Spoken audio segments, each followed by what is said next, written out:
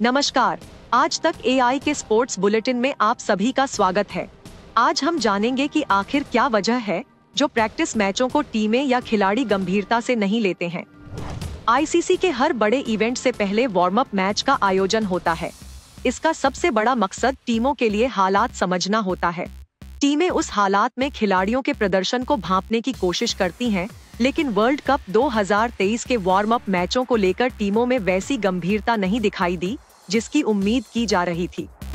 भारतीय कप्तान रोहित शर्मा ने तो वार्म अप मैच को लेकर ये तक कह दिया कि हमारे लिए यहाँ हासिल करने को कुछ नहीं है।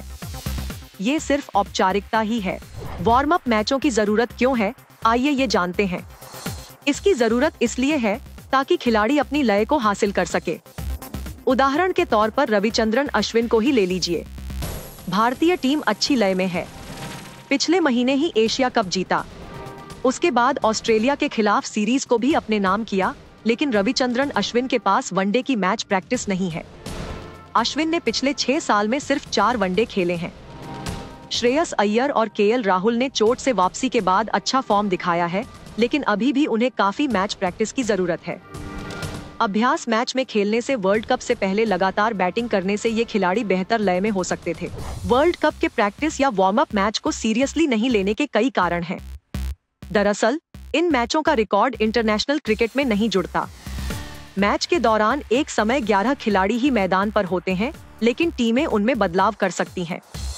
सभी 15 खिलाड़ियों को खेलने का मौका मिलता है इससे किसी भी टीम की ताकत और कमज़ोरी का अंदाज़ा नहीं लगाया जा सकता क्योंकि नियमित मैच में तो सात नंबर के बाद गेंदबाजों का आना शुरू हो जाता है।